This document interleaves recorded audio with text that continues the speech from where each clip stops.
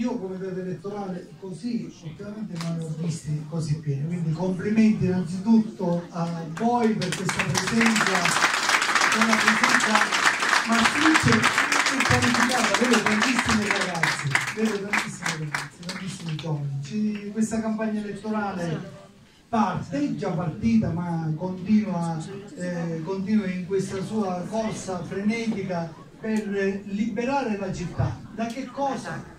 Dal galleggiamento. Questa città ha galleggiato per troppi anni, noi lo vogliamo liberare da questa condizione e Riccardo è la soluzione, l'unica soluzione per riportare questa città a, a far vincere le scommesse importanti che un comune come Ragusa non può non vincere. Auguri a tutti, i complimenti, le congratulazioni a tutti i candidati, vedo tantissimi candidati in eh, consiglio comunale, questa elezione è tutta sulle spalle vostre, cioè nel senso ognuno di voi che gira rappresenta un riferimento importante per questa campagna elettorale. Non dimenticate, a volte si deve avere la capacità anche di perdere il proprio consenso eh, personale pur di non perdere il voto per il sindaco. Cioè noi vinciamo non con un consigliere comunale eh, di opposizione, noi vin- vinciamo e facciamo cambiare questa città con il sindaco e quindi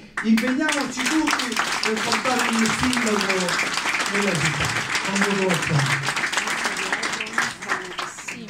Grazie, grazie a tutti i presenti, grazie intanto anche alla coalizione che mi sta sostenendo e che sta consentendo questa avventura.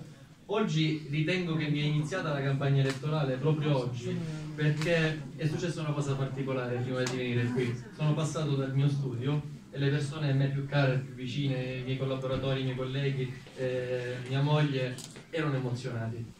E questa è stata per me la, la cosa più bella che poteva accadere, perché se, la- se nella politica non riportiamo emozione, non riportiamo passione, non riportiamo entusiasmo, noi eh, allontaneremo sempre di più le persone dalla politica. La politica è una cosa bellissima. Tramite la politica noi possiamo cambiare il nostro futuro, il futuro dei nostri figli, il futuro dei nostri posti e quindi la politica deve essere questo. L'obiettivo mio non era vincere o perdere le elezioni, l'obiettivo è fare in modo che un giorno prima del voto la gente possa appassionarsi a questa campagna elettorale, possa appassionarsi alla nostra città, possa appassionarsi al futuro della nostra città.